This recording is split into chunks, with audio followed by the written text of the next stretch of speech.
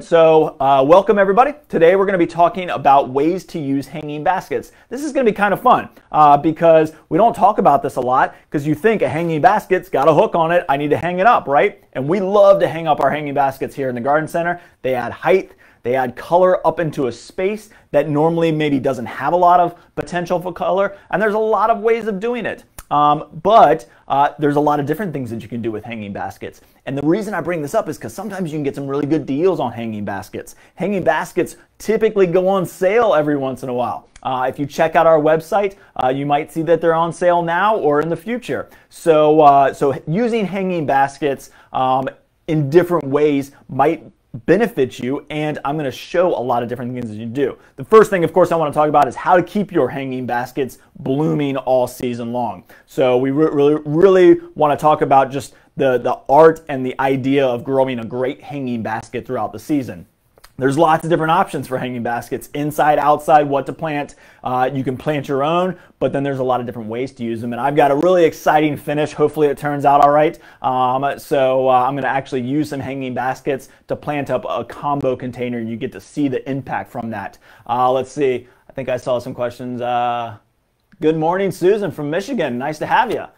Uh, we like to skip over spring and head right to summer very abruptly. Yeah, and we've been there, Susan. We've definitely been there in the Hampton Roads area where it's all of a sudden it's summer before we know it. Uh, we've had a great long spring this year, and we love springs that, that last a long time uh, because it keeps the season kind of going a little bit. Um, and keeps us out in the yard a little bit more. But I know how that is, Susan, from going from cold to just all of a sudden it's hot. Um, but here we get real hot, Susan. I don't know how hot you get in Michigan, but we, will get up into the hundreds uh, before we know it here in the next couple months. Um, so, all right, so hanging baskets. Uh, let's talk first about keeping your hanging baskets blooming and keeping your hanging baskets healthy and great looking. So, of course, we've got lots and lots of hanging baskets around here. I'm going to show you some of my favorites here in a little bit um, that we grow in the Hampton Roads area. But the first thing I want to do is show you uh, how to kind of keep a hanging basket growing. And, and really what I want to, this is going to look ugly, and that's okay. It actually took me a long time to find one ugly hanging basket, one bad hanging basket. So 85 to 90 this week. Wow, in Michigan. Wow, that's getting warm. So you might be saying, well, that doesn't look that bad. Well, it's a little anemic looking, so we can see the yellowing leaves. It took me a long time to find this hanging basket. Our hanging baskets are gorgeous. Um, but this one we probably got in early part of spring, um, and maybe it missed a watering or something. I had to go back in the back greenhouse to find it. But you can see it's getting a little kind of uh, you know, empty in the center. We've got some yellowing leaves. We got lots and lots of brown petals in there. So you can see that it's just kind of struggling a little bit. Now in the summer months, you might find that your hanging baskets might even look worse than this. And that is somewhat normal. That's okay. Uh, the first thing I want to talk about is deadheading. Deadheading is a necessary practice on a lot of hanging baskets. Not all. I'm going to show you some of my favorites. A lot of my favorite hanging baskets don't need deadheading, like this gorgeous dragon wing begonia. These petals are going to fall off once the blooms are done and it doesn't produce a seed. It just keeps on blooming, so you don't have to worry about deadheading. But that's what deadheading is, is taking that seed out because plants flower to seed, right? Plants are going to flower to produce a seed. Like a tomato plant, you want the blooms, you want the seed because the seed is encased in the fruit and that's what you want to eat. So with a petunia or a uh, geranium, then they're going to want to try and go into seed form. Now, a lot of plants have been hybridized, a lot of annual plants have been hybridized to not seed as much, meaning it's not going to try and produce a seed or that seed is going to be non-viable and the plant is going to not produce it like a knockout rose. Think of knockout roses. They're awesome. You don't have to deadhead them as much. And the reason you don't is because that bloom produces a seed that it's trying to produce. And then all of a sudden it realizes that it's not viable. It drops it and it keeps on blooming. So we've tricked the plants into thinking that they don't need to do that. They just have to keep on blooming. And most petunias and million bells and lots of plants don't have to be deadheaded, uh, but it does keep them fresher looking and cleaner looking. So for example, we've got all these brown blooms in here. And so going through and picking these off really does help kind of clean up your plant. It doesn't take a lot of time. Um, you know, petunias are a little sticky, so I'm sure if you've ever worked with petunias before, you'll find that your hands will get a little kind of almost like a sappy, sticky feeling to it, but that's natural. But just going through and just pulling out the blooms is a good practice. Now, some petunias and other plants will produce a seed, and so I don't know if you can quite see this, but right here is where I just pulled some dead blooms off, right? And I can feel that and it feels a little hard on the inside. Now it's producing a bloom on the end here. That's almost done, so I'm gonna take that off. But all of these, so it's got another bloom. This is a great example right here. So I've got this long uh, growth here from this petunia. All of these old blooms are pulled off now and cleaned up, and it is producing another bloom here. However, if we go in and we just pinch these little green caps off that don't look like blooms, that's what it's going to look like right there. I'm going to zoom in on that. So it's got this little kind of thing. If we go through and pick some of those off, it does help it continue to bloom. Now, it's not necessary. You don't have to do it. And typically, I won't do it uh, much um, unless I see that it's really struggling to bloom, but the plant itself looks great. Then I might go in and do a little bit more deadheading, sit down, have a drink one night, and just sit there and just kind of selectively prune and clean them out. Now, you don't have to do that. What I typically do is let the plant kind of grow and it's going to start to look a little straggly looking and that's okay. And then I'm going to prune it back. I'm going to show you how to do that in a second. Um, so, but I also wanted to show you another example of a plant like lantana. So this is a lantana hanging basket, one of my favorite hanging baskets because it just loves the heat um, and it just goes all summer long. Very, very easy to do. Let's see if I can show you this. So in here are some old bloom uh, seed pods that are starting to form. Now, lantana is hybridized, as I mentioned before, um, to prevent these seeds from, from, from really forming a seed. So you can almost see in this seed head that it's starting to brown and die off, and that's good. That's what we want. However, going and picking these out doesn't take a lot of time, and it's pretty easy to do and it just stops it from even trying to produce the seed because it's going to keep on trying until this seed head dies. And once the seed head dies then it'll say okay let me keep on producing blooms. So it does help to pull these out. You can see that old lantana. And it's starting to brown at the tip. So doing some deadheading definitely helps. Doing some cleaning definitely helps. It keeps your plants fresh, it keeps them good looking. Uh, you'll see it a lot with geraniums. Of course, I grabbed the one geranium that doesn't have any deadheads on it. but, um, but when a geranium dies back or when the bloom starts to fade, then you've got this big brown kind of thing sitting up here. And so the easiest way to clean that up is just follow it down in. Oh, I do have one. I've got one little, you can see it right in there. See that guy? So that one's done and it's going to sit there and it's going to go brown and then it's going to eventually fall off. So again, you don't have to deadhead it, but if you just go in, and that's why I love geraniums because it doesn't take long to clean them up, and just take it all the way down as far as you can, then you're going to get a nice cleaner look and it's a very easy thing to do. So geraniums need a little bit of cleaning up. Lantana might need some. Verbena might need some. I'm going to clear off some of these hanging baskets here and pull this one back up because I want to show how to prune them too. But before I get to that, how did we get here? Well, maybe we didn't feed enough. Maybe we didn't water enough. So let's talk about that. I know I just talked about watering a little bit opening up this video, um, but watering is extremely important when we're talking about hanging baskets. Hanging baskets are exposed as much as exposed as they possibly can be, even more so than a container sitting on the ground or on a porch or patio. So a pot sitting on the ground is going to dry out faster than anything planted in the soil. However, a hanging basket is even more exposed. It's up, it's out in ex completely exposed to all the wind. Wind is going to dry out a planter much, much faster. So hanging baskets are getting a lot of wind. They also are getting more sun typically, so they're going to dry out faster. Plus, they're in typically a smaller container as well, which means they're going to dry out a little bit faster. And the best thing to do is use your hand to weigh it. So when it's hanging, just kind of lift it up. Okay, that's got a lot of weight to it, so I don't need to water. You can also use your finger or a moisture meter. So I can always take my moisture meter, and just pop it in the soil and check what the moisture level is. So you have a couple different ways of kind of checking to see how moist your hanging basket is. I personally like weight. Um, hey, Deborah. Um, so uh, I personally like to check the weight of the hanging basket, and if it's got some weight to it, then I know I'm good. Once it starts to get lighter, then I can water. Now, what I also like to tell people is try not to water um, as much as even maybe you've seen us do it.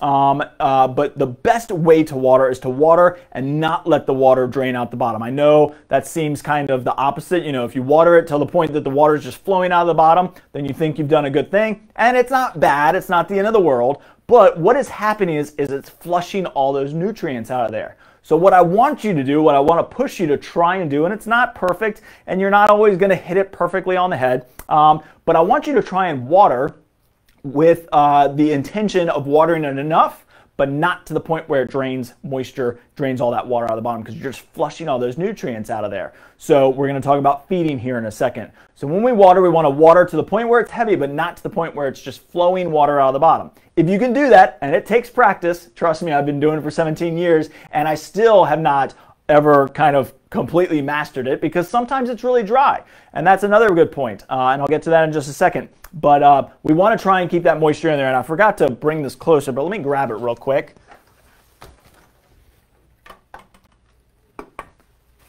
This is my Dramm watering wand, and this is the best way to water hanging baskets, and it's really the best way to water anything in the yard or in the landscape or in your garden. Um, it is on every single hose here at the garden center. It is the best tool out there uh, for watering. It makes watering easier. It saves your back. And so if you got a hanging basket up high, this long handle, this is a 30 inch handle, allows you to reach a lot of things. And it allows you it's got that bent curve so it's easy to water your hanging baskets. So this is a great tool if you don't have one of these and you live in the hampton roads area you should come and pick one up. We've got them at all of our garden centers and our garden markets. So this is one of the best tools out there that you can use for watering.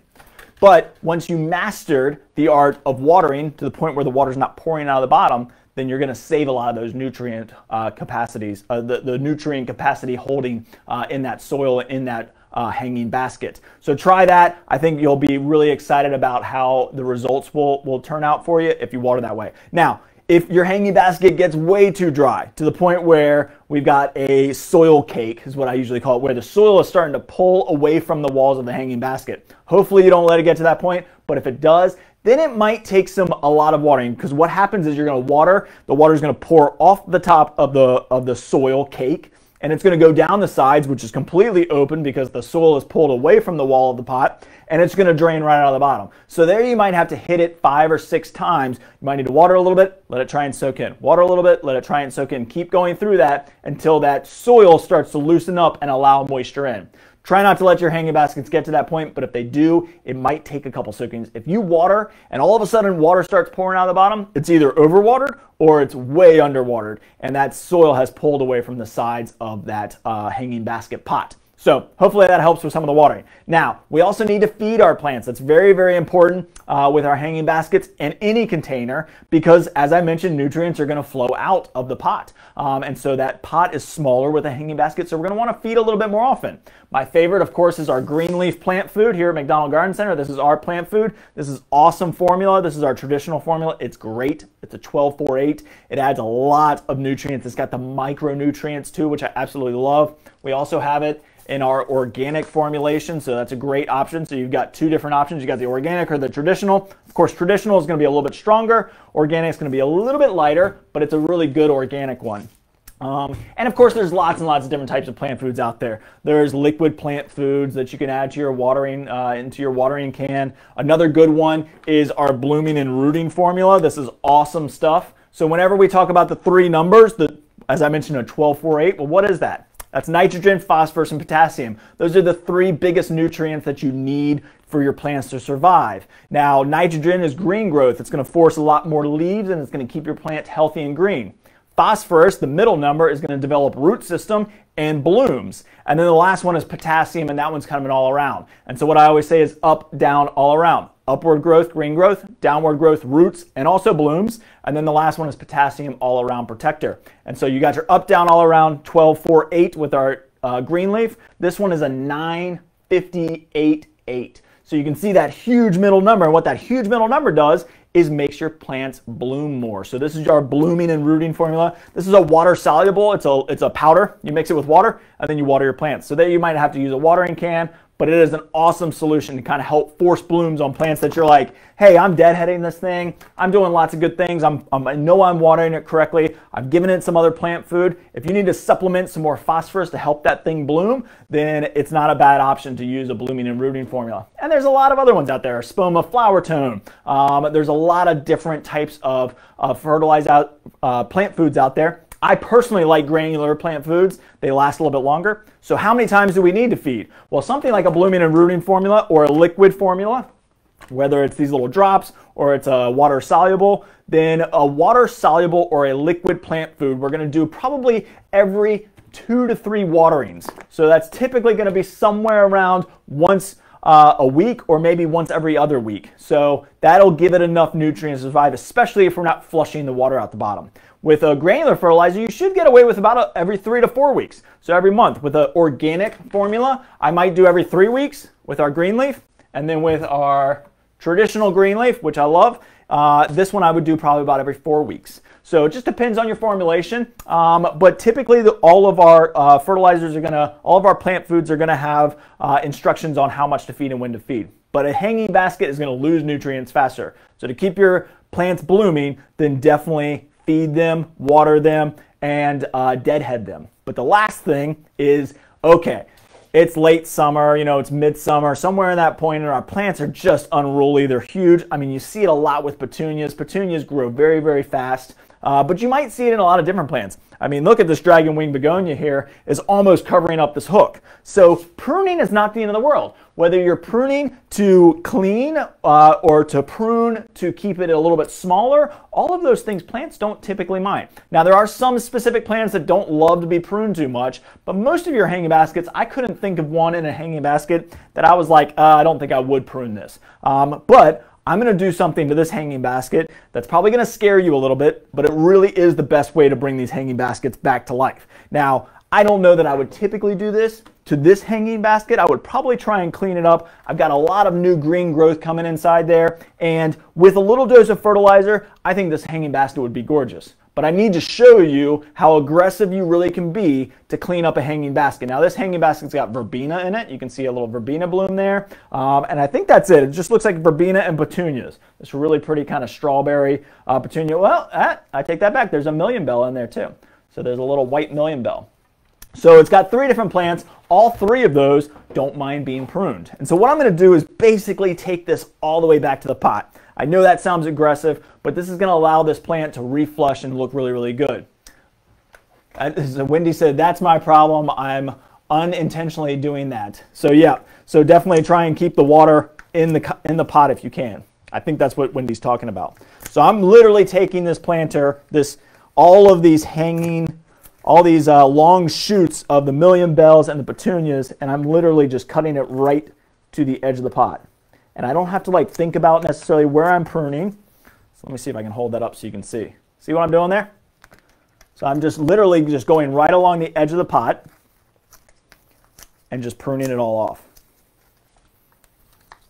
So let me work around this and I'll do all of this real quick. And I know this seems harsh, and again, I probably typically wouldn't do this to this hanging basket, um, but I'm sure you've seen some hanging baskets uh, that you've either, ha either had or you've seen them at uh, other people's homes or even at garden centers uh, that maybe look like they could use a little bit of help. So that's what I've done there is I've just taken all that growth off the side because every time we prune a plant, right? So plant grows, Let's see if I can grab a piece here.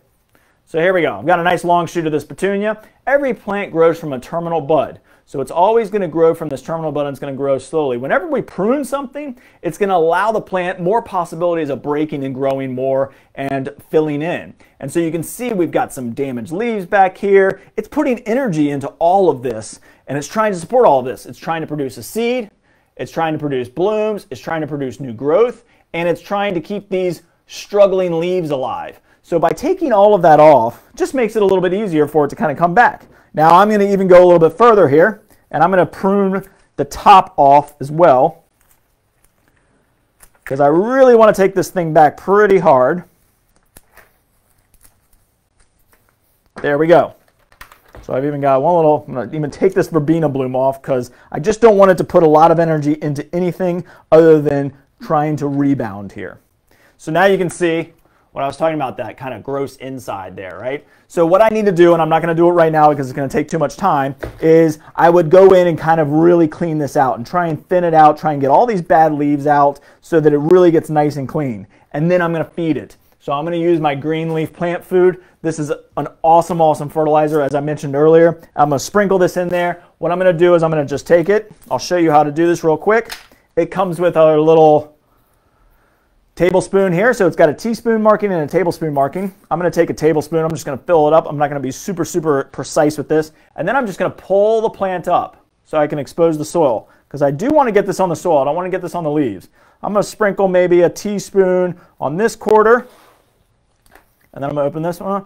Sprinkle a teaspoon there. And then I'm going to take another scoop and we'll come over to this side and we'll put another teaspoon and then we'll do the final teaspoon. So I've got about two tablespoons in this hanging basket. I'm gonna give it a little bit of a shake just to spread that around. And then the next time I water, it's gonna nice, it's gonna fill out. Now this is gonna take a little bit of time. So when you do this, this is what your hanging basket is gonna look like for about a week and then it's gonna start to reflush and in about three weeks, this thing is gonna be gorgeous. Now I'm gonna go stick this in our greenhouse. It'll be ready to go in about two weeks, but in our homes, around our homes, put this in a spot uh, that gets good sun, but maybe I want to give it a little reprieve from a, full blasting all day sun. Petunias would love all day sun. But while it's rehabbing, I might put it where it gets uh, maybe a little bit of shade for, you know, maybe a couple hours or maybe like morning shade, afternoon sun, just so it's not having to really try and, uh, and fight the elements. Now, I'm not going to have to water as much when I do something like that. One, I've moved it into a spot that maybe it's not drying out as much,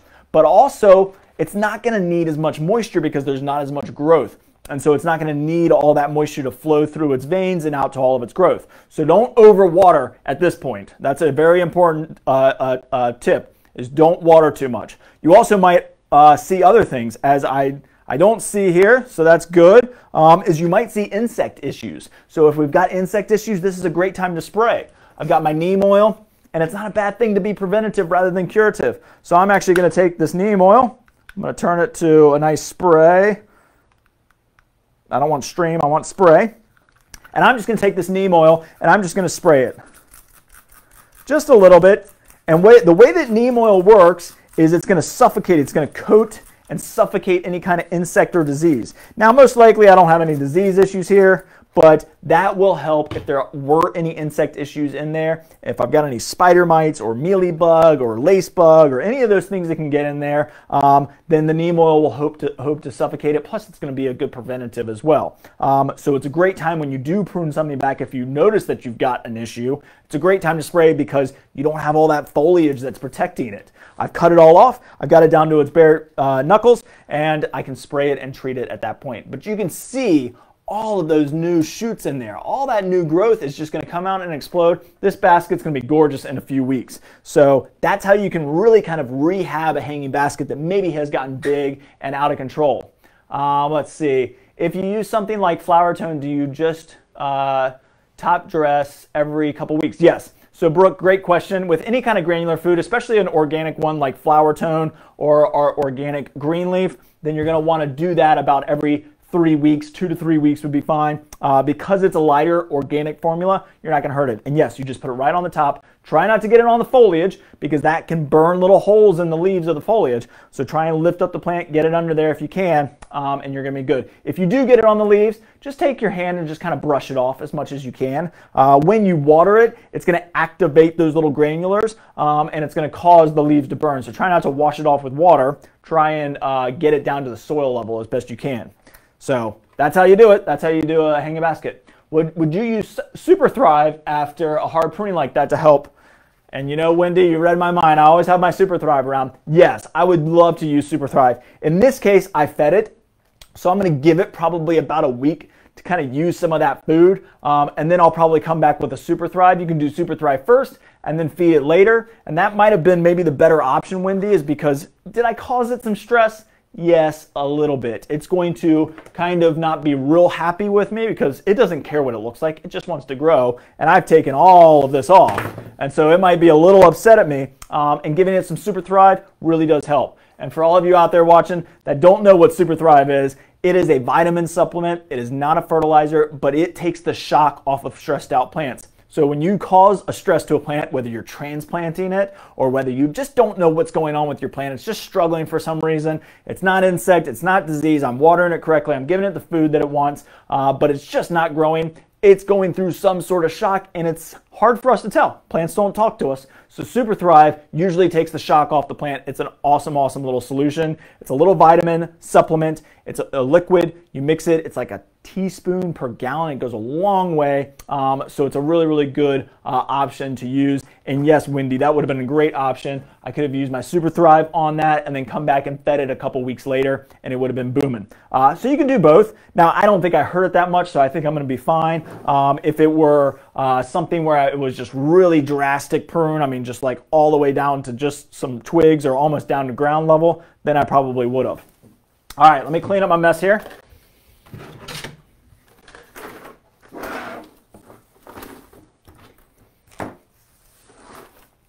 But that's how we can clean up a hanging basket, get it refreshed real quick. And then that's typically not going to be done until we get to about the July timeframe at the earliest, and then even August usually is when that's really going to be something that's needed. Um, and sometimes you don't even have to need that. Sometimes you're perfectly fine. Um, so that's the three, that's the four things that I definitely want to talk about when we talk about keeping our hanging baskets thriving is deadheading, feeding, feeding properly, watering properly, and then pruning if necessary. Now, pruning sometimes is done just to keep your plants shapely. You know, if I needed to go in and take this dragon wing begonia and kind of prune it to kind of help it shape, or maybe it's getting too big for the space that I have it in, you can do some pruning, and that's pretty easy. You just follow it down to where you see that you want to prune. I usually go a little bit deeper than I typically might. Instead of just taking off the top, I'll go in and prune it down a little bit deeper, and that allows it to flush a little bit more evenly. If I prune it up here at the top, you might get some straggly growth because, again, plants are going to grow from a terminal bud, and if we take that off, it's going to break more underneath and you're going to get more growth. So if I do it at the top, it's going to grow a little bit faster here than over here that I didn't prune. So prune a little bit deeper, it helps it kind of keep it a little bit fuller. Um, I need that Super Thrive for my baskets. Thanks for the great info. Yeah, Lillian, you will love it. I use Super Thrive all the time. Uh, I had a huge camellia, cut it down to like the stump, used Super Thrive on it. I probably used a little bit more than I needed to, but you can't hurt it. Um, and man, two or three years later, that thing was is, is the prettiest camellia I've ever seen. It's absolutely gorgeous and it blooms like crazy. And it was a straggly old one, been around probably for 30, 35 years in this yard um, that uh, was my previous home. So Super Thrive is awesome whenever we're doing anything drastic. A lot of bonsai uh, growers use it uh, to kind of help with bonsai plants because they're stressed out. You know, they're being kept in this tiny little pot. Um, so it's a great little product to have around. It's a great thing to have in your you know plant medicine cabinet um, just in case you don't know what's going on and you want to give it a little bit of vitamin supplement. It's a great option for you. All right, so now I want to talk about just some things. I just want to kind of talk about some different hanging baskets. I want to show you some of my favorites here. So let's do that first, and then um, I'll get into some different ideas for hanging baskets, and then I'll show you all the different uses for them as well. So let me show you some of my favorites. my number one favorite is Scaevola. Uh, I don't know if you've ever grown Scaevola as a hanging basket, but it is one of my favorites. It can grow in sun or shade, so it's very, very versatile. This plant could almost look like it is dead. Uh, if you miss some waterings, this plant will hang. It looks like just a dead weed. I mean, it just looks awful. And then you water it and it perks right back up. And so it's really, really hard to kill. It's very, very durable. It blooms like crazy all summer. It has this, obviously, this trailing habit. So you can see it's almost completely uh, covered up the hanging basket from underneath. But I love how it kind of hangs down and then pops back up. So you kind of get to really see that bloom. It's a really pretty one. It's a really awesome plant. This is just the purple and white mix. It also comes in straight purple. See, I think I grabbed one. So this is just fabulous hanging basket. Just love that color, almost a bluish purple color, uh, that dark green leaf. Uh, and when you feel the leaf, it almost feels a little bit like a succulent. Um, so it's very, very strong. It's very, very durable. One of my favorites. Love this one. Uh, what would you recommend Miracle-Gro Liquid? Um, so I, I, don't recommend a lot of the Miracle-Gro products, and it's not because I don't like Miracle-Gro. I just have a lot of different ones that we carry and support. Um, so like the Schultz Plant Food is the one that I recommend. It's very similar. It's a 10 15 10, whereas most of your Miracle-Gros I think are like 20 20 20. Um, I do have a 20 20 20 uh, water soluble that's very similar to Miracle-Gro. It's made by the Fertilome company that makes this blooming and rooting. So yeah, I don't have a problem with Miracle-Gro. Typically, what Miracle-Gro lacks is the micronutrients and the trace elements, and you're not going to typically get that in a liquid, which is why I always like my green leaf plant foods uh, because they have those trace elements and those smaller nutrients that I think are really, really beneficial. Not as important as the macronutrients, your nitrogen, phosphorus, and potassium, but very, very important. All right, so uh, some of my other, uh, of course, my dragon wing. I absolutely love dragon wing hanging baskets. I just think they're graceful, they're classic, they're traditional, and they love shade. So it's really hard to get a lot of color and a lot of you know, really nice green growth in a shady spot. And this one does an amazing job. So dragon wing begonias are absolutely amazing. And of course, What do you do in full sun? Well, they came out with a dragon wing. They call them big leaf, but these are bronze leaf dragon wing begonias basically. Let's see if they call it dragon wing. I know they, they had a whopper, so whopper, big leaf, uh, is what they're calling them. But that is a really nice burgundy leaf, and that means that this one can take more sun, and then you get these red blooms on it. So I just love the art, the, the architecture of it, the, the shape of it, the texture is really, really cool. It's just a different looking plant, and you don't have to deadhead them. And these just bloom all summer long. So it's a really, really great option. So you've got them for the shade and you've got them for the sun. Really, really great one. I showed you the lantana earlier. Another great hanging basket for full sun. This will attract hummingbirds uh, and bees and butterflies. Lantana is awesome. It doesn't stop when it gets hot. So when we get into those 90 degree days, this is a great one to have around. Uh, and especially if you're trying to attract hummingbirds and butterflies and bees to the garden, you could put a shepherd's hook out in your vegetable garden and put a lantana basket or two if you get a double shepherd hook Put a couple of those out there and you're going to attract a lot of pollinators, which then are going to pollinate your plants as well. So lantana is a great one. Plus it's deer resistant and so nothing really messes with them. Um, let's see, what else are some of my favorites? I absolutely love New Guinea impatiens. Really pretty colors. Don't have to deadhead these as well. So you know like our typical garden impatiens are smaller leafed, I find them to be slightly messy. Um, they drop a lot of petals. You don't have to deadhead them, but uh, I love New Guineas with this big leaf. They're very similar to the SunPatiens, which we carry SunPatiens in hanging baskets as well. Uh, so you can grow them in full sun. This one does great in the shade. So on a covered porch or a patio or something uh, that's got a little bit of shade on it, this is going to do absolutely amazing. Um, what else? We've got, oh, purslane or portulaca, whatever you want to call it. Uh, I, the, the purslane is the one with the flat leaf, which is what this one is. So now this hasn't quite grown out as much because we haven't had a lot of heat yet. And I think my blooms are actually already slightly closing up. So let me see if you can see. Oh, there's one. So what's cool about purslane or portulaca is the blooms will actually close at night. So they need sun. So they need full sun. In full sun, this thing is going to open up just tons of blooms. It's going to be covered in blooms. And then at night, they all close back up and this will look completely green again. But what's cool about this is it's a succulent. So it is very, very drought tolerant. So it can take that really, really hot, dry sun. And if you've got a space that you can't quite get to and water as much, but you want a really pretty hanging basket, this is a great option. I know it doesn't look like much right now, but when this thing gets covered with those really pretty blooms, it's got this pink uh, petal with that yellow center. They're really, really gorgeous. So a really pretty one, and it'll trail. It'll trail for days coming out of the basket. So it's a really, really nice one. Uh, let's see, what else? Of course, there's lots of different types of petunias. Petunias are a great one. Look at that. You can find a lot of really cool looking petunias in hanging baskets typically. Uh, Mesovine. So Mesovine is probably not one that a lot of us know about, but Mesovine is a really cool one. Not really known for its bloom, more for its foliage. So really, really pretty color. Uh, it's got that white and green variegation, the white edge around the green leaf. Um, but this is also a succulent. So it's a very, very drought tolerant plant. I actually love this one in a little bit of shade. So with a little bit of shade, I think they do a little bit better. But I've seen them growing in full sun, completely spectacular. They're a great combo, uh, a great plant in a combo planter because uh, it has that trailing habit. They do get a little red bloom. Let's see, I think I've got different petals mixed in here. Oh, there's one.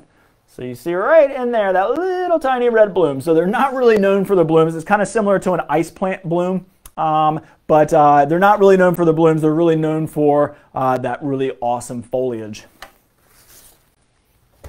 What else do I have around here? I got lots of hanging baskets around. So of course, uh, you can't have, you know, a really pretty porch without a nice Boston fern hanging basket. These are awesome uh, a quintessential classic, you could say. Uh, Boston ferns are just awesome with that green foliage. Great again for the shade. I guess I didn't bring a lot of sun containers in. I guess the ones behind me could be. I'll show you those in a second. Well, actually, this one's a little bit more shade. But a Boston fern is a great hanging basket. Uh, it's just a really, really pretty option for a shady spot. Porches, patios, they look great when you've got, you know, four or five of them lined up on a porch. Really, really great look. So, of course, Boston ferns are a good option maybe you want to grow food in hanging baskets, right? So we can do that. I actually just did a webinar on growing uh, edible plants in small spaces, and there's nothing uh, more beneficial to growing vertically, growing something up that's up in the air. So this is a strawberry hanging basket. As you can see, the strawberries coming out. and that little pink bloom there. So this one actually blooms pink and gets a strawberry. Uh, so this is a great way of growing some edible plants. You can also do herbs in hanging baskets. Look at this mint. You know, mint goes wild, but if you use mint in teas throughout the summer or in mojitos, this is mojito mint. Um, so this is a really, really great plant. It's also got that great fragrance keeps insects away so you can you know keep this on your porch or patio and you can sit out there and enjoy the fragrance yourself as well as keep some insects away. So mint is a great option, uh, really good one for a hanging basket, and you can use it. And this one, as you can see, needs to be used. Remember I just talked about pruning? This guy needs to be pruned. Somebody needs to make some, some mojitos one night. Um, so you can pick this up, have a mojito party, and then uh, your plants will continue to grow and look great after that. All right, so let's see. And then of course, don't forget your indoor spaces. There are so many, I didn't grab a whole lot of options, but I did grab a couple. Uh, Indoor spaces, there's a lot of options for hanging baskets. I grabbed this little moss fern. This is really pretty. I think that's what this is. Uh, fern gold moss. So yep, it's a gold moss fern. Uh, so it looks like moss. It's going to trail over the sides. And this is great. I grabbed this one because you can grow these in low light spaces. So if you've got a, a bedroom or a space uh, in your kitchen that doesn't get a lot of light, but you want a hanging basket, there's options for you. Maybe you want something that's a little bit more bright light. So I've got this Swiss cheese philodendron. This is really, really cool. My daughter has one of these in her windows. Uh, her window doesn't get a whole ton of light, but it's a good afternoon sunlight window. Um, but these are pretty versatile, medium to high light. Uh, so really, really great option. And there's so many different options. There's succulents, there's cactus, there's tons and tons of different options for inside your house.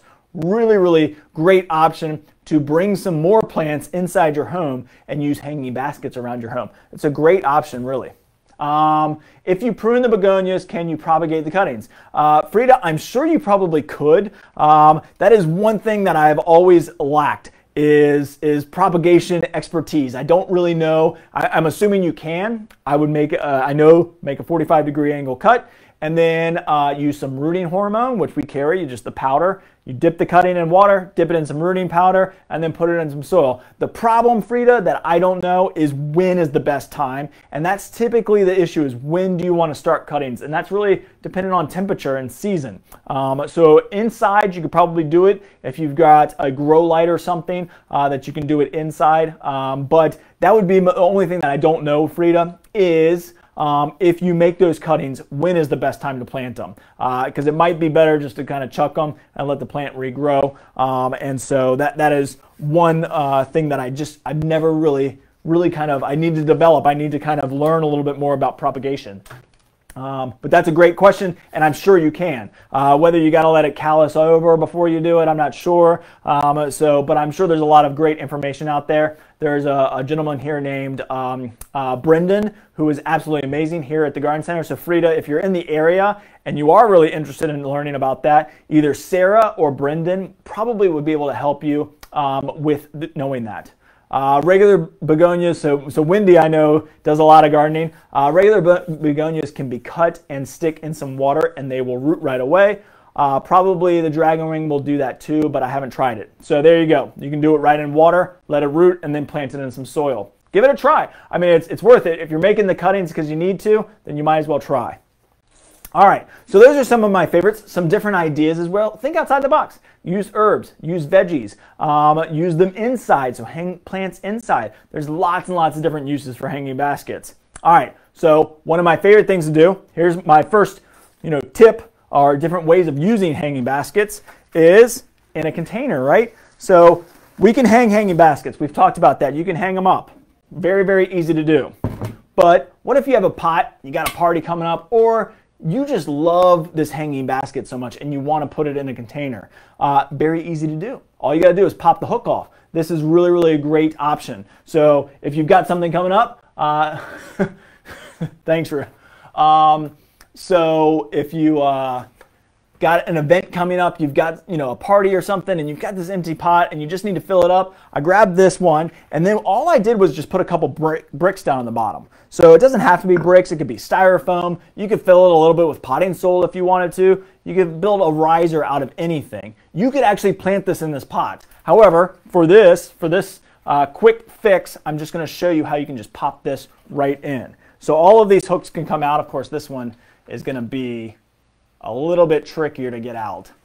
So I don't know. Maybe I'll maybe I'll use a different hanging basket because this one has a different kind of clip system in it. Let's see how challenging this is going to make it for me. Yeah, I think I might. Well, there we go. All right.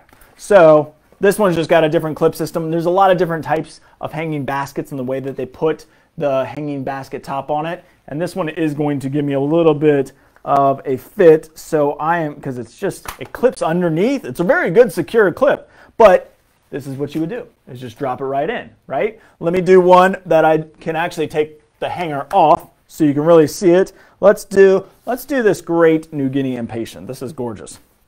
So this one I can get the hanger off real fast.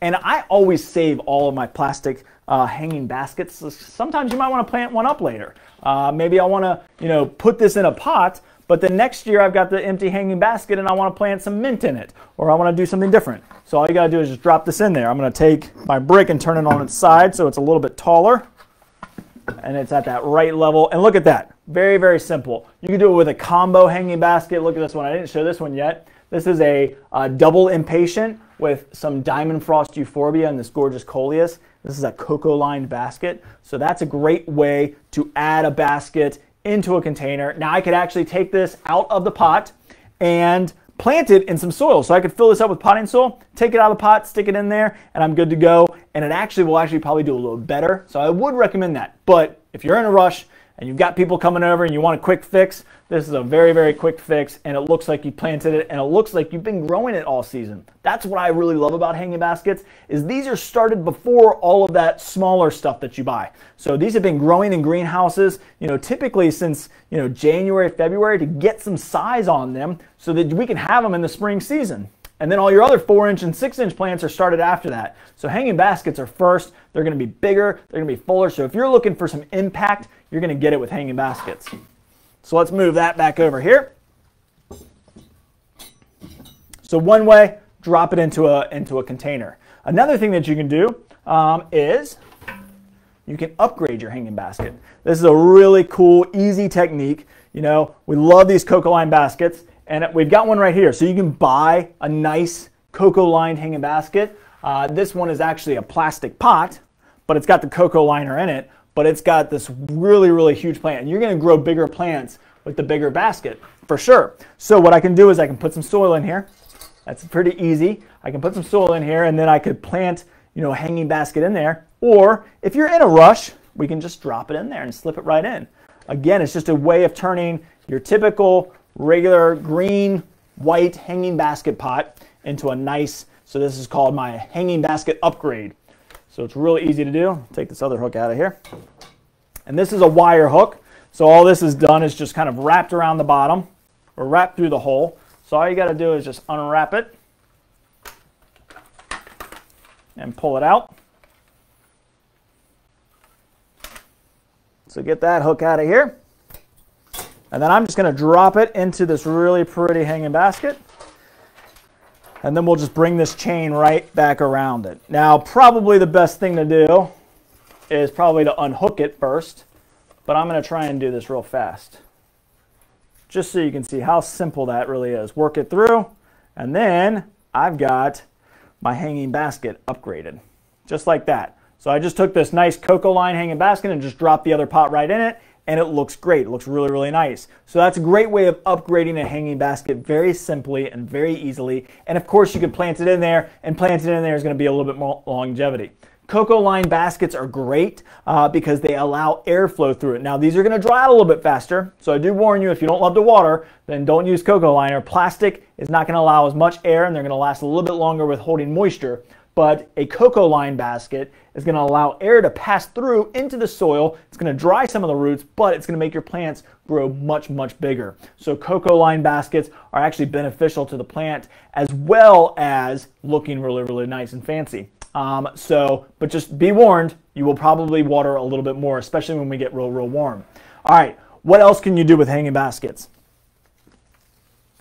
Well, I've got this gorgeous petunia. I found this. A lot of times, as I mentioned earlier, you're going to find different plants that are in hanging baskets that you wouldn't typically find um, in, uh, in just a four inch or a six inch pot. So maybe you want to plant them in your landscape. That's very, very easy to do. Take the hook off and plant this right in the landscape. And man, especially if you've got a party coming up, or, you know, if you go and you do some math, if you buy some hanging baskets that are on sale, which a lot of times they are, then you go check the price of a six inch pot and you would say, okay, how many six inch are in here? Well, there's probably three plants in here. Typically in a 12 to 14 inch plant, you're gonna have anywhere from three, four to five separate plants in there. I'm gonna show you that in a minute. But with this, you're basically getting the impact of three six inch, and you're probably gonna spend a little bit more buying six inch if you just buy one hanging basket. Now you can split these apart, but what I would do is just plant it just like this. Take the pot off, take the plant out of the pot, drop it into your landscape, drop it into your flower beds, and you've got some instant impact. So this is a great option is to plant them in your landscape. I would do it with petunias. I would do it with dragonwing begonias. There's lots and lots of choices of, of plants that I would just take right out and put them in the landscape. Especially if you're gonna plant a bunch of small stuff, why not just get a big hanging basket and put it in the landscape? It's awesome what it can do for you. All right, so then my final thing that I want to show you is how to make a combo out of a hanging basket. This is one of my favorite things to do. Um, it's really, really easy to do. So I've got this nice big pot here, and we're going to turn this into a combo pot. So again, a lot of times you won't find what maybe you want in a four or six inch pot. So maybe you see something in a hanging basket and you're like, I would love that in my combo pot. I love making combinations. One of my favorite things to do in the spring um, is taking all these different plants, putting them together and making this gorgeous combination. So what I'm gonna do is I'm gonna use some hanging baskets to do that today and I'm gonna show you because it'll show you how you can actually split some plants apart um, and get a really big, impactful combo planter uh, for instant gratification, but also Again, like I mentioned, these plants have been growing a little bit longer, so you're going to get bigger plants out of a hanging basket typically than you would in a four or six inch plant. First thing I need is my McDonald potting tool. So I got a bag right here. I'm to open this up. And we're just going to fill this up a little bit.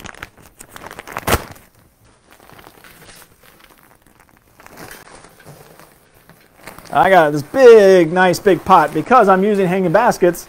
So I know I'm going to fill this up pretty easily. So that pot right there took a whole bag of potting soil, and it's going to need a little bit more too. But this is a gorgeous pot. We just got a great collection of ceramic pots in. Uh, so we've got more and more containers to work with. So if you haven't planted one up or maybe you ran out of pots and you need a new one, we've got plenty here. So all I did was just put this straight in, uh, potting soil straight in. A good quality potting soil is going to look like this. It's going to be nice and light and it's going to have perlite in it and peat and vermiculite. It's going to be really, really nice and it's not going to form into a, a, muddy ball. If you squeeze it, it's going to still fall apart. So we got a good potting soil in there. I don't have to put anything down in the bottom. I could have if I wanted to. I could put rock down there if it's a plastic pot to weigh it down. I could put some styrofoam down there if I needed to. Uh, but I typically just say put potting soil in there. The only issue that could ever occur is if my drain hole gets clogged up but I check that every so often. Just lean over the pot, just check with your finger, make sure it's not uh, clogged up, and you're good to go. And a good potting soil shouldn't clog up your drain hole. Should be perfectly fine. All right, so I've got that in there. Now, what most hanging baskets don't have is a big center plant. So my thriller. Whenever I talk about making combinations, I use my three components, my thriller, filler, and spiller. So a thriller is typically your upright plant's gonna add some height. So that's the only thing I'm gonna have to do that's gonna be separate from a couple hanging baskets. I've got this great spike. I love maroon spikes. They're very, very easy to work with and very easy to use. So we've got this great spike here. So I'm gonna just gently squeeze the pot, get that out. let's see, we need to bring this up a little bit. You can see those roots are flared out, so I don't need to rough it up too much. It's not super, super root bound, so I don't need to rough it up too much to uh, allow those roots to take into the soil, but I do need a little bit higher. So I always like when I'm planting up a container to make sure that I've got a little bit of an edge. So I don't want it right at the same height as my pot. I actually want it a little bit lower. So I went too high there because I want to give myself a lip to be able to water. So when I water my container, I don't have to sit there and water it and let the water soak off the top. Um, it gives a little bit of a, of, of a well basically uh, to hold the moisture in. All right, so I've got my centerpiece in. Now, what I think I'm going to use is this New Guinea impatient, this coral New Guinea impatient. Really great contrast color. Love that color. Look at that. Kind of that peachy, kind of corally color. So I need to move some things off my table here. So I got a little bit more space to work in. And I want you to be able to see how to kind of open these up and break these apart. Now, not every single plant can be taken apart. Now, obviously in here, I've got probably three different types of lantanas. You can see all the different colors, but sometimes plants come from the center point. Great example is this uh, red spike here. It all goes to one point. I can't split that. But whenever you're thinking about using a hanging basket for a combo planter, um, look inside the planter. So if you look inside there, you can see there's one plant. There's another plant. I can see actually where all those plants are meeting uh, inside the pot. So I know that I can actually split those up. So since I'm taking this apart, and this is another one of those tricky hanging baskets, isn't it? But I'm going to try and get this hook off because I like to be able to save my pot if I can. Some of these are tricky to get out. There we go. All right. Just bear with me for a second because I do want to take this hook off. And I do like to try and recycle my pots because every once in a while we'll break a pot around here. You know, that happens sometimes. And if it ever happens to you, we do sell plastic hanging, hanging basket pots. They're very, very uh, inexpensive. So if you accidentally drop your hanging basket or something happens, a windstorm comes through, $4.99, you can get yourself a new hanging basket very, very easily.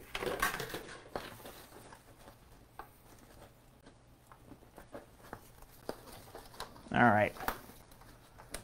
Now I'm getting the hang of it. Most of them just clip over the side and it's pretty easy. These go actually through a double hole in the side of the pot. So it just takes a little bit longer to get this out. All right, there we go. So I've taken my hook out.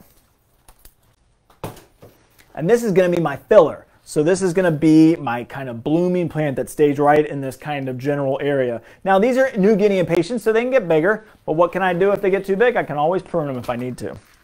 So I'm just going to take this right out of the pot. You can see that. Now most hanging baskets are going to have um, a uh, kind of uh, drainage kind of support system underneath, so you're going to see this a lot. See that black plastic piece? So that you can just easily slip right off and pop it in there. Now, sometimes you're going to find it's to be super, super root bound in there, which is good. This one's not crazy root bound. It's got lots and lots of nice looking roots, but um, it's not really, really crazy root bound. Now, what I love to do is use a table here. So I'm to actually put it on the table. I'm to try and turn it around so that you can see it. I'll try and do this opposite. But what I'm going to do is I'm to look in here and I'm to find my plants. So I've got I've got three in here. I've got three nice big plants. And so what I'm going to do is I'm just going to basically put my hand right where I know that there's two plants, or that I've got a plant here and a plant here. So this is my root system of my two plants. So I'm just going to take my hands and just gently, gently divide it. I don't need a knife. I don't need to really kind of do anything to hurt this plant. And I'm just going to gently separate that. Now I'm going to turn it to the side and get it to the other area. And basically what you're doing is just working your thumb through just trying to get that, and I'm not trying to rip it. So I'm just, I'm going to hear some popping of some roots, and that's okay. I'm just gently working my way through it. So I don't have to rush. Just take my time. And just keep on working through. The hardest part is going to be in the center because that's where the roots have kind of you know, worked in, intertwined each other. Uh, so they've kind of gotten kind of wrapped around each other a little bit. But we're just gently, slowly but surely working these plants apart. So I'm, I'm putting some force into it, but I'm not ripping real hard because I don't want to hurt my plants. There we go. So I've got three nice size plants now. Now these are bigger than any six inch plant that I'm going to have out there. And I'm going to use these all the way around. So I'll pop that one in there. And just look at that impact. I mean, look at how big that is. It's huge. So, I mean, there's just no way that I can get that with a smaller plant initially. Put that one in there. And now I don't need to like rough up the sides or anything because I've already roughed this plant up enough. And Wendy, I would probably use my Super Thrive after this. What I will use, because I haven't mentioned this one yet, is my Biotone starter. If you don't know about Biotone starter, it is awesome. It is a great starter fertilizer. You do need to get it to the root system of the plants, but it's got beneficial bacteria and mycorrhizae that attach themselves to the roots and they form a symbiotic relationship that lasts the entirety of the plant, the, the entirety of the life of the plant. So I'm going to put this in as my initial plant food. So I don't need, it's also got nutrients in here. So it's a 433. It's made by Espoma. It's kind of like a root stimulator. So you know the old fashioned liquid root stimulator, it's very similar to that. And I'm just going to put that right in there. Now it's right on the root system of all of these plants. And my final plant is going to be, of course, my spiller. So now I've got to put in something that's going to trail over the sides. And what else would I use than my favorite Scaevola? So we're going to use this right here. So same, same process, same technique. I'm just going to take my hook off, which this is a wire hook, so this will be a lot easier. So we'll just pop this guy off.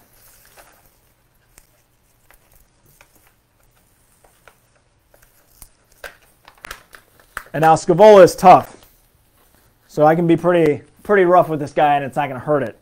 That's why I love this plant. It's very, very tough very durable. So I've got this red spike, I've got this New Guinea impatient, um, and I've got the Scaevola. Now the red spike uh, will do fine in a little bit of shade, uh, but also will do fine in a little bit of sun, and full sun. The New Guineas can actually take full sun or a little bit of shade. So this container is going to be really, really good in an area that gets some shade, but also gets sun. Um, so maybe you know, if I've got a spot that gets like two or three hours of really bright afternoon sun, it's gonna be perfectly fine. Even if it's in a lot of shade, it's gonna do perfectly fine. Uh, so this is a very, very great, uh, very, very good option.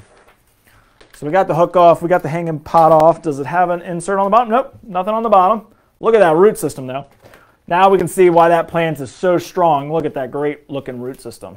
Nice and white, really pretty. Okay, so now the trick is with a trailing plant, so like sweet potato vine, I used to do this all the time with sweet potato vine uh, because you get the big, huge sweet potato vine. So if I'm planting up a container for somebody and they want it big and impactful, I'm gonna really resort to a hanging basket first because they've been grown for longer. So I'm gonna get those nice long trailers. So you know, you go find a Scaevola out there that is as big as this, good luck. So what I gotta do is I gotta look in here and try and find my plants.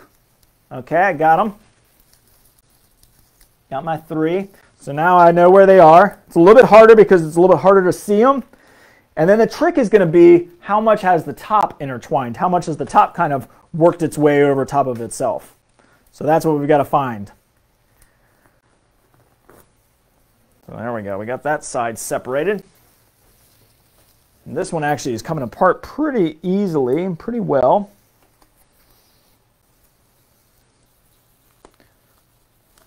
Just Find, make sure you find your plants before you start pulling. And then once we've got one, I kind of usually just give it a general kind of light shake. You see that? So that I can see that they're separating off. Perfect. So I'm trying not to rip the top because I want all my trailers on there as much as I possibly can get them. And that's the tricky part about this is the tops are going to grow into itself. So we're just going to gently pull and try not to rip it. So again, using some force. There we go. Now I got this great big hunk of Scaevola. So really, really great option here. All right, now I need a little bit more soil just to kind of bring it up to height. So I'm just going to fill in my holes.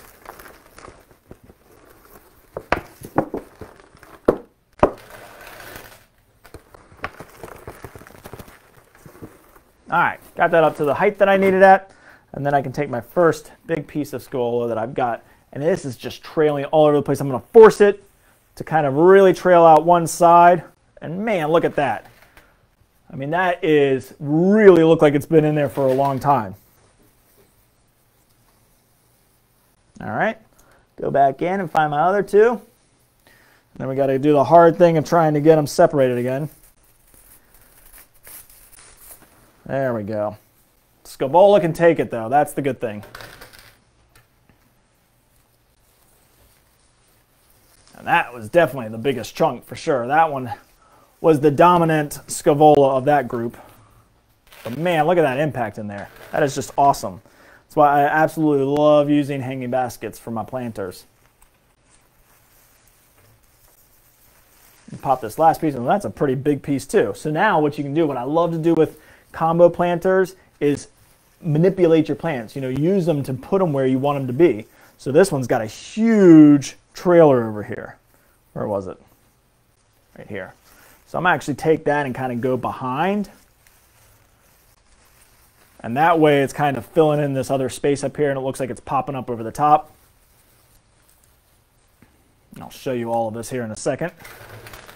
And you're going to lose some pieces here and there. You're going to break some stuff. That's okay. And that's why I use tough, durable plants, because I know that they can take it. So I got this other one that's huge. I'm going to take some of it and put it up in here. So look at that. And just let it just kind of wrap around and pop up here and there because that's what Scaevola can do is it can just kind of almost like a vine just kind of work around and be everywhere. And then there we go. So all I got to do now is just kind of fill it in with some soil around the gaps and I'm ready to roll. And so I've got this gorgeous, look at that. I mean, it looks like this container has been growing all season long, and I just planted it. And that's because the plants have been growing all season long. They've just been in hanging baskets. So really, really awesome planter here. Love that combination. I got that coral color with that dark burgundy eye that's pulling out the burgundy on the spike, and then a great contrasting color with my purple scaevola. Love this pot. It's got a lot of burgundy in it. It's got some burgundy colors in it. I know you can't quite see it on the, on the uh, screen, but it's got some blue in it, which is pulling out the blue of my scaevola. It's got some burgundy in there as well. Really pretty pot. Great looking combo. So now I've just got to fill this in with some soil, get it watered, and I've got a great combination that looks like it's been growing for a long time. So really cool way of using hanging baskets is in a combination of different plants. Uh, it just adds impact. It adds uh, this sense that it's been in the in your yard, in your garden for a long time, and you can really put on a show using hanging baskets. So those are some of my favorite ways of using hanging baskets. Upgrade them with a coco liner, pop them into a, a pot. You know, you just take the, the, hang, the hanger off of it, just set it right into a pot, use some risers, plant it in the pot, put it in your landscape, use it in your landscape. And then of course, use them and break them apart and use them in combination planters. And if you don't want to break them apart, then I could have done this differently. I could have taken that spike and put it towards the back, put the hanging basket of the um, New Guinea impatient on one side and put the scaevola on the other side. It doesn't have to be a kind of perfect round symmetrical shape like this. It could have been just three elements in there. You still get your thriller, your spiller, and your filler. And then of course, use hanging baskets as they were intended to be used. Hang them up, you know, go out there and put a bunch on your front porch, whether it's a fern, whether it's a combination like this. There's so many different uses. And of course, hanging baskets in your home is a great way. Think of all the different ways that you can use them with edibles. You can find small tomato plants that don't get very big. You can grow tomato in a hanging basket. Mint, you know, your indoor plants, there's so many different options, strawberries, uh, the list goes on and on. So there's a lot of things that I probably didn't cover, but those are some of my favorite ways to use hanging baskets and some of my favorite hanging baskets and my tips and trips, uh, tips and tricks to keep them blooming all season long. So hopefully this helped. I'm going to see if there's any other questions, but I enjoyed doing this. It was a lot of fun. I love this container. I'm going to get this finished up and get it back out on the sales yard and, and put it on sale so anybody can come and get this great, gorgeous container that was just planted up that looks like it's been growing for a long time. All right, so let's see. We got any questions here?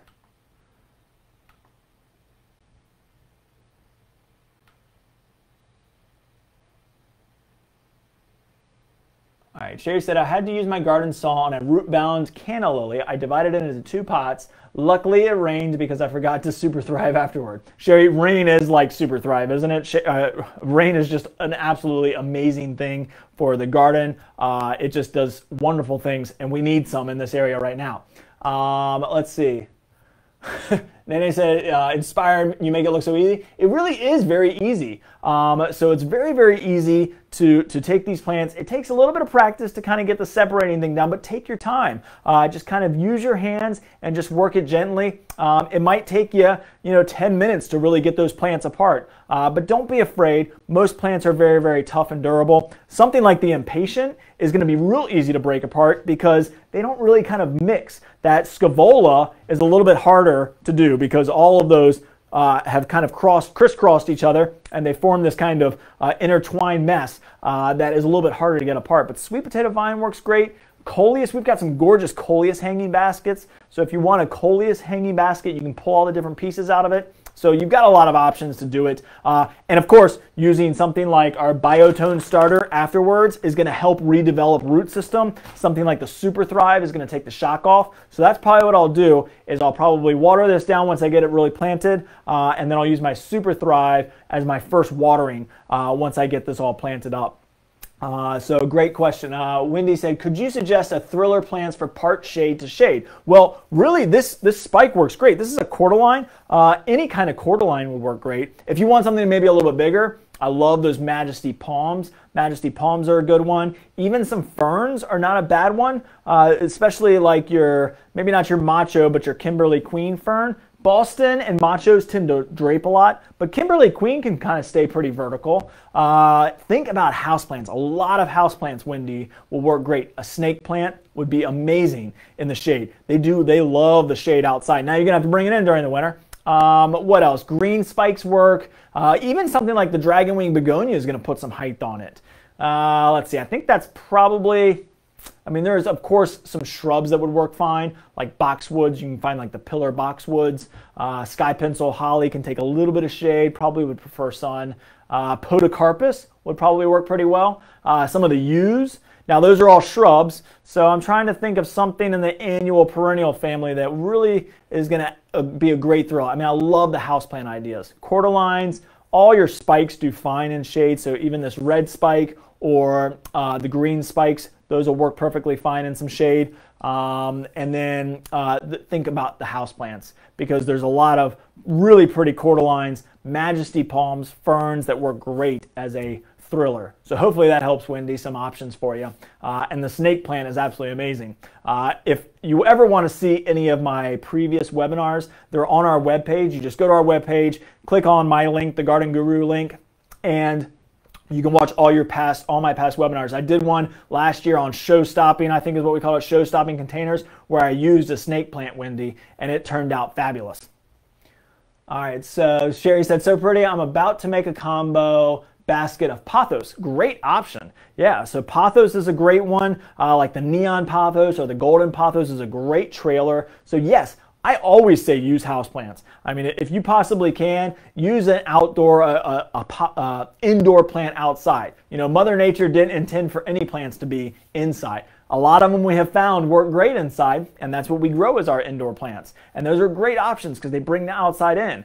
But they were intended to be outside, so they can grow outside. A lot of those plants inside are going to prefer a little bit of shade outside, which is Wendy, why I suggested them for you, because for a shady spot, a lot of those house plants are going to work great. And there's a lot of thrillers in that category as well. So hopefully that helped everybody. I think I got everybody's question. So enjoy your day, enjoy the weather. It's going to warm up. So get out there and water if you haven't watered because watering is going to be important. Uh, but I hope you all enjoyed this and come in and see us here at McDonald Garden Center. If you live in our neck of the woods, we hope to see you soon. Everybody have a great day. I'll see you next week. We're going to be talking about uh, oh, my perennials, some of my favorite perennials, uh, tried and true perennials, perennials that we know do really, really well in this area. Uh, so if you live in the Hampton Roads area and you love perennials, it'll be a great one to watch uh, to, to see some of those that we have just been reliable on over many, many years because we know they work great. So let's see what we said. Nanny said, can you have a planting workshop in McDonald's where we can make our own and you look over our work? Uh, that's not a bad option. We'll maybe consider doing something. I mean, things are starting to get back to normal, right? We're getting really, really close. So that's not a bad option uh, to come in and do a workshop with me, the Garden Guru, where uh, you know we can all plant up some planters together. Uh, maybe it's something where I can at least walk around and kind of help with picking out the specific types of plants. There's so many options. I love doing this. I love contrasting colors. I love using light colors. I mean, it's really kind of harder to do, but I mean, you can see it in this one.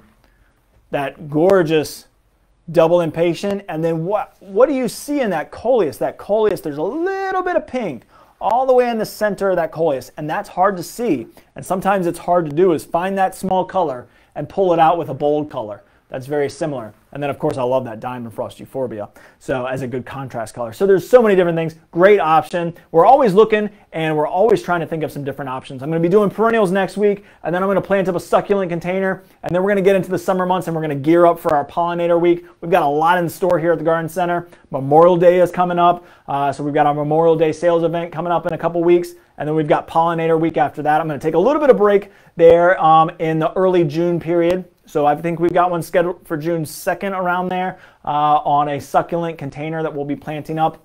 Um, and then I'm going to take a little bit of a breather before we get to the pollinator week, and then we'll be back and we'll be doing more after that. So we love the suggestions. Keep them coming. That's a great one. And uh, we'll hopefully be able to pull something off like that pretty soon when we can all uh, kind of come together again and get back to normal. So we hope to see you in the Garden Center. I hope you enjoyed this. Have a great day, everybody, and I'll see you next week.